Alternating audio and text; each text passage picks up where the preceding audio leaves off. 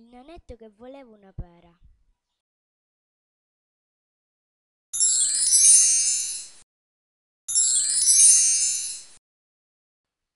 Un giorno un nanetto che si chiamava Alessio voleva fare una passeggiata perché sapeva che nel prato, vicino a tre montagne, c'era un meraviglioso, grandissimo e altissimo albero pieno di pere.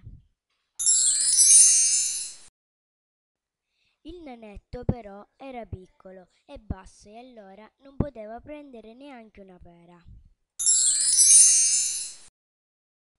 Il vento lo sentì e decise di aiutarlo. Soffiò ma non riuscì a far cadere nemmeno una pera.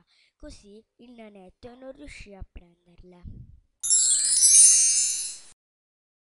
Poi un uccellino lo venne ad aiutare. Con il suo becco si mise a beccare alcune di quelle pere e le fece cadere. Il nanetto fu molto contento e per ringraziare l'uccellino gli diede alcune di quelle pere